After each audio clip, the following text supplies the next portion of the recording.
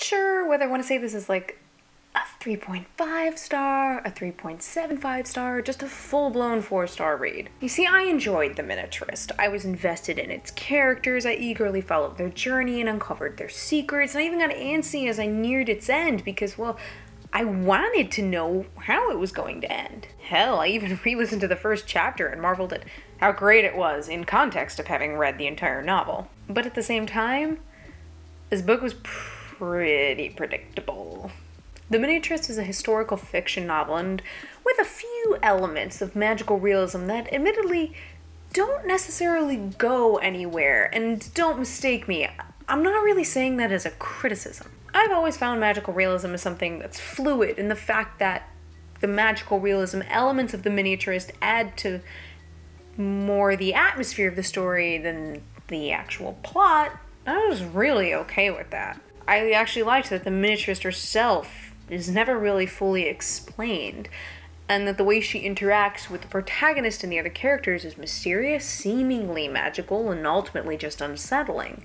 But that plot it's just so easy to figure out where it's going. And while I don't think the miniaturist really depends upon the twists, yeah, those demanded air quotes, that crop up within the narrative, it certainly does draw them out as if they were things that are meant to surprise us. And this is something I found incredibly frustrating as I feel the narrative really telegraphed these twists well enough that they were super easy to discern. All one had to do was basically be paying just enough attention while they read. And I wasn't even like physically reading, I was listening to this novel, which, you know, in theory probably should have made it more difficult for me to pick up on these little threads and on what was likely happening. I mean, Johannes being gay? Yeah, I saw that coming from a mile away. Although, to be fair, I'd put up at least two scenarios for why Johannes, Johannes uh, didn't seem fully, uh, let's say, comfortable being physically intimate with his wife in any way. And my two scenarios were that he was either gay or asexual, the latter of which would have brought me great joy. But I figured this is, you know, a historical novel set in the 1680s. They at least acknowledged homosexuality was a thing even it was in like the worst way imaginable, which was that it was considered unnatural and illegal, and they would kill you if you were gay. So you know, in my head, that kind of took asexuality off the table. But how about Marin being pregnant and being pregnant with Otto's child? Oh yeah, called both those.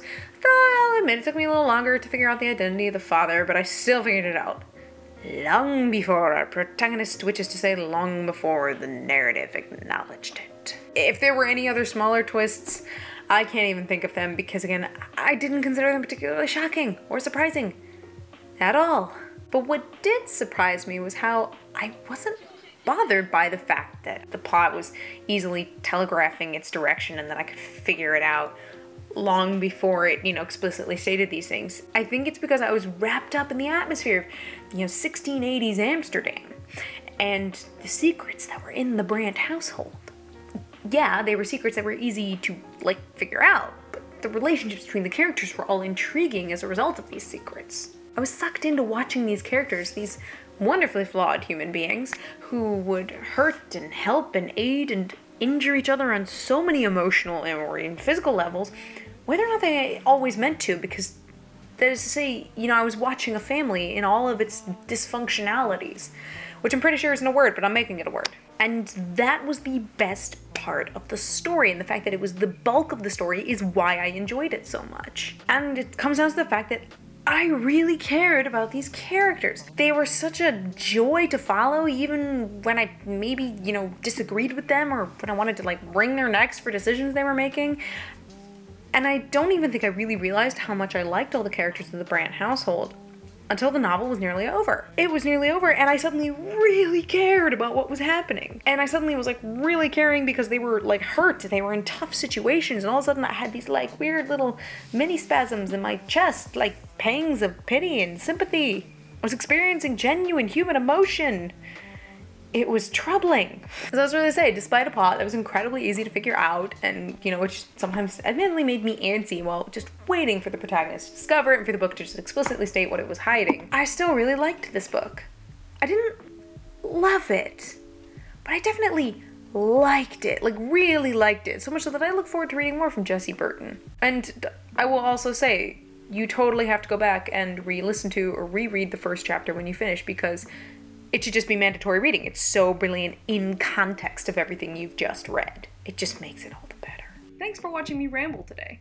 If you'd like to see more from me, go ahead and click that button with my face on it. It'll take you to my channel where I ramble about a whole lot of different things. Got some thoughts of your own? Go ahead and leave them down in the comments. And make sure that if you want to see more ramblings from me, you click that little subscribe button. That's it for me today, you guys, so until next time, cheers.